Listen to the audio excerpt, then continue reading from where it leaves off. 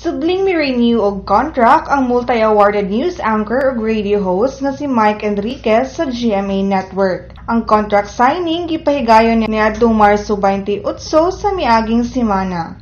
Si Enriquez gawas nga dakong opisyal sa news department, siya usab ang consultant sa radio operations sa maong network. Alang sa Showbiz Chika, Maris Puyo.